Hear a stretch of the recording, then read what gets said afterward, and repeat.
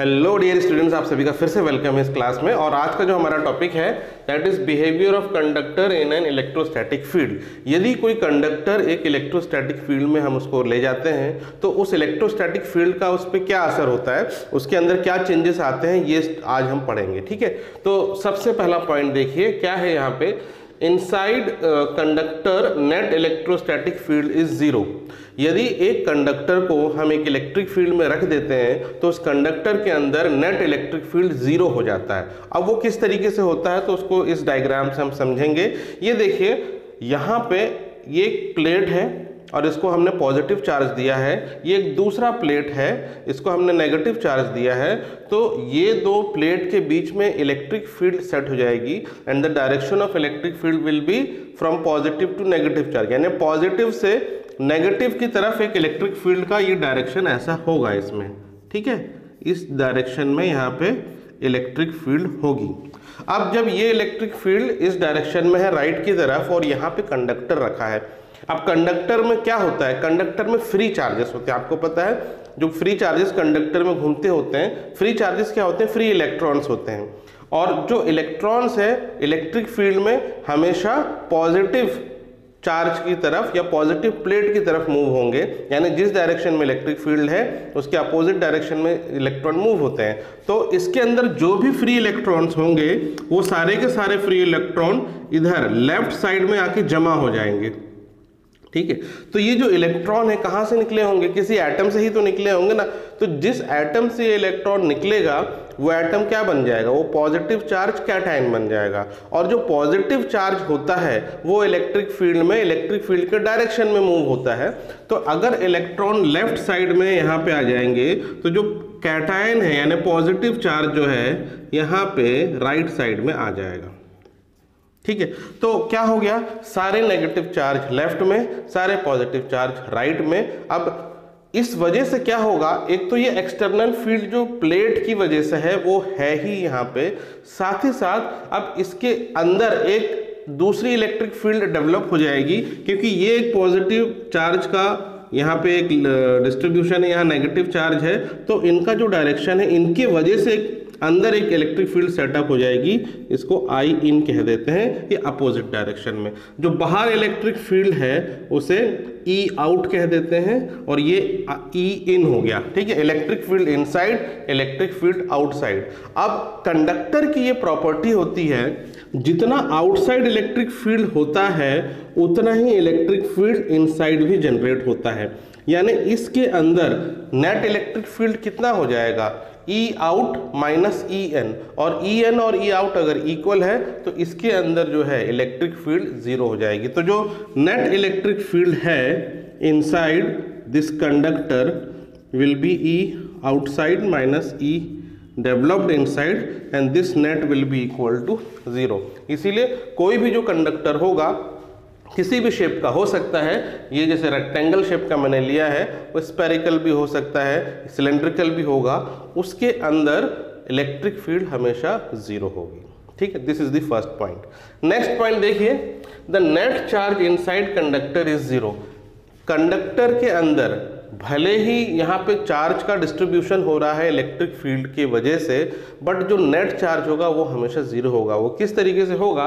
जैसे इस कंडक्टर की आप बात देखें इलेक्ट्रिक फ़ील्ड में सारे नेगेटिव चार्ज लेफ़्ट में आ गए हैं और सारे पॉजिटिव चार्ज राइट में आ गए हैं बट जितने जो है इलेक्ट्रॉन्स लेफ़्ट में गए हैं, उतने ही जो आयंस हैं कैटायन वो राइट में शिफ्ट होंगे। तो माइनस और प्लस, जितना नेगेटिव चार्ज होगा इसके अंदर, उतना ही पॉजिटिव चार्ज होगा। यदि आप दोनों को जोड़ेंगे तो नेट चार्ज हमेशा ज़ीरो आएगा। यहाँ पे अलग से एक्स्ट्रा कोई चार्ज नहीं है। Net charge will be always zero inside the conductor in an electric field now third point potential is constant inside the conductor इस कंडक्टर के अंदर पोटेंशियल कांस्टेंट होगा। क्यों कांस्टेंट होगा? देखिए क्या होता है, हमको ये फॉर्मूला पता है E is equal to minus D B upon D R ये चीज़ हमको पता है, ठीक है? इलेक्ट्रिक फ़ील्ड क्या होता है? नेगेटिव ऑफ़ पोटेंशियल ग्रेडियंट के बराबर होता है। यदि आप कंडक्टर के अंदर जाते हैं तो अभी हमने बताया कि इलेक्ट्रिक फ़ील्ड ज़ीरो होती है कंडक्टर के अंदर। यदि कंडक्टर के अंदर इलेक्ट्रिक फ़ील्ड ज़ीरो है तो ई e ज़ीरो हो गया। और ई e ज़ीरो हो गया तो minus D V by D R भी ज़ीरो हो गया। अब अगर minus D V by D R zero है तो हम ऐसे भी तो लिख सकते हैं, D V equal to zero. और डी वी क्या है? D V actually change in potential तो change in potential is zero change in potential zero यानी पोटेंशियल चेंज नहीं हो रहा। ध्यान रखना पोटेंशियल ज़ीरो नहीं है चेंज इन पोटेंशियल ज़ीरो मतलब इस कंडक्टर के अंदर पोटेंशियल होगा, लेकिन वो कांस्टेंट होगा, वो चेंज नहीं होगा। तो इससे ये प्रूफ होता है। ठीक है? Now next electrostatic field at the surface of a charge conductor is proportional to the surface charge density and normal to the surface जो भी कंडक्टर होगा, उसकी जब आप सरफेस पे जाएँगे तो सरफेस पे जो इलेक्ट्रिक फ़ील्ड होगी, वो होगी proportional to the surface charge density यानी जो सरफेस की चार्ज डेंसिटी है, उसके प्रोपोर्शनल होगी और उसका डायरेक्शन सरफेस के नॉर्मल होगा। तो आप कोई भी एक सरफेस चूज़ कर ले। जैसे मान लो ये कोई भी एक इरेगुलर सा, कोई एक ऑब्जेक्ट है, ये कंडक्टर अब इसके जस्ट सरफेस पे हमें पता करना है कि कितनी होगी इलेक्ट्रिक फ़ील्ड तो सबसे पहली बात तो आपको ये पता होना चाहिए, जो जितने भी चार्ज हैं, इसके जो सरफेस है, केवल उसके अंदर होंगे inside there will be no charge अब हम, जैसे मान लो एक छोटा सा, मैं ये इसका एक एरिया कंसिडर करता हूँ। ये सर्कुलर एक छोटा सा एरिया है इस कंडक्टर में। मान लेते हैं, इस, इसका जो एरिया है, ये है delta S delta S is the area of this circular portion. ये एक छोटा सा पोर्शन है इस कंडक्टर का। अब इस पे चार्ज होंगे और इसकी चार्ज डेंसिटी मान लो सिग्मा। ठीक है, जनरली हम सरफेस चार्ज डेंसिटी सिग्मा लेते हैं। यहाँ पे चार्जेस होंगे। यहाँ पे इलेक्ट्रिक फ़ील्ड होगी और उसका डायरेक्शन ऊपर की तरफ़ होगा नॉर्मल टू दी सरफेस अब यहाँ पे अगर हम गॉशियन सरफेस बनाएँ, यहाँ पे एक हम गॉशियन सरफेस बनाएँगे जो कि होगा सिलेंड्रिकल जो कि इस सरफेस से होता हुआ जाएगा। तो थोड़ा नीचे इसको ले जाओ। ठीक है? ये एक सिलेंडर और इसके ऊपर। ऊपर ले जाएँगे। तो यहाँ से यहाँ यहाँ से यहाँ ये पूरा एक सिलेंडर सिलेंड्रिकल शेप आपको दिखेगा, जिसमें इसका जो सर्कुलर क्रॉस सेक्शन एरिया है, वो है डेल्टा एस और जो सिलेंडर की हाइट है, बहुत कम है निग्लेजिबल वेरी वेरी स्मॉल उसको हम कंसिडर ही नहीं कर रहे हैं। तो अब ये हमारे लिए अगर गौशन सरफेस है तो इसमें से फ्लक्स केवल ऊपर वाले पोर्शन से निकलेगा। ठीक है? नीचे वाले पोर्शन से नहीं निकलेगा फ्लक्स क्यों नहीं निकलेगा? क्योंकि अभी हमने पहले भी डिस्कस किया, जो इलेक्ट्रिक फ़ील्ड होती है inside the conductor is zero तो अंदर कोई फ्लक्स नहीं होगा तो इस सिलेंडर के ऊपर वाले सरफेस से फ्लक्स निकलेगा. तो जो टोटल फ्लक्स इस ऊपर वाले सरफेस से निकलेगा that flux will be E into delta S ये फ्लक्स की डेफिनेशन है. यहाँ पे जो भी इलेक्ट्रिक फ़ील्ड है, इस सरफेस के जस्ट पास है ना? सरफेस पे ही जो इलेक्ट्रिक फ़ील्ड है इनटू इसका एरिया ये होता है फ्लक्स और आपको गॉस लॉ से भी पता है, ठीक है? गॉस लॉ क्या कहता है? Gauss law is equal to total flux is equal to total charge enclose upon epsilon naught अब ये जो टोटल चार्ज की बात मतलब ये जो सर्कुलर हमने पोर्शन लिया, इस पे कितना चार्ज है? ठीक है? इस पे कितना चार्ज होगा?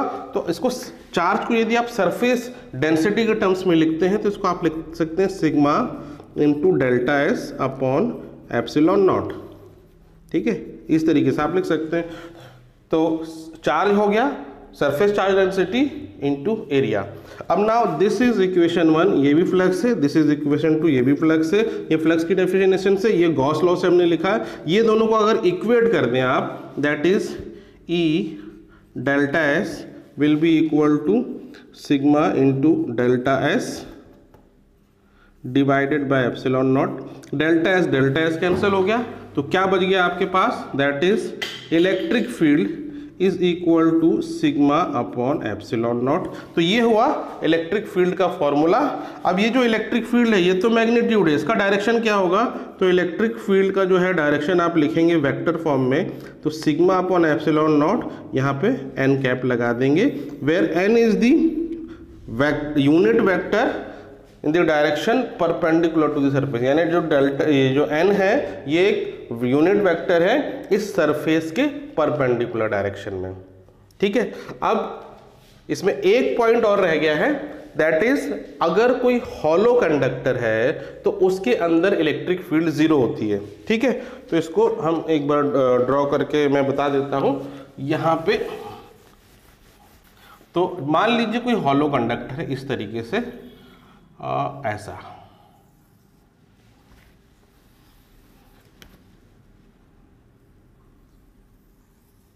ये एक हॉलो कंडक्टर है और ये इलेक्ट्रिक फ़ील्ड में रखा हुआ है। तो कंडक्टर की प्रॉपर्टी क्या होती? जो भी चार्जेस होंगे मान लीजिए इस तरीके से ये आउटसाइड द सरफेस इस तरह से होंगे डिस्ट्रीब्यूटेड होंगे।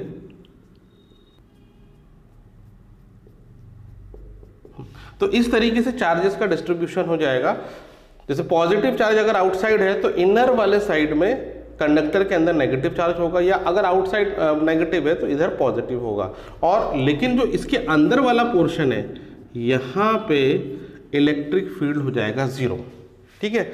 और यही जो है, यही जो आपको जो सिचुएशन है प्रोवाइड करता है इलेक्ट्रोस्टैटिक शील्डिंग इलेक्ट्रोस्टैटिक शील्डिंग का मतलब क्या है? हमें ऐसा रीजन क्रिएट करना होता है जहाँ पे कोई भी इलेक्ट्रिक फ़ील्ड ना हो तो आप इससे क्रिएट कर सकते हैं। मान लीजिए आपके पास कोई मटेरियल है, आप चाहते हैं कि उस मटेरियल पे कोई भी इलेक्ट्रिक फ़ील्ड का इफ़ेक्ट ना हो तो यदि वो मटेरियल को मैं इस हॉलो स्पेस के अंदर रख दूँ तो यहाँ पे हमेशा इलेक्ट्रिक फ़ील्ड ज़ीरो रहेगी और ये इलेक्ट्रिक फ़ील्ड से बचा रहेगा। तो ये जो एक तरह की है ना कैविटी यानी होल यानी क्रिएट हो गया जहाँ पे कोई इलेक्ट्रिक फ़ील्ड नहीं है और इसी को हम कहते हैं इलेक्ट्रोस्टैटिक शील्डिंग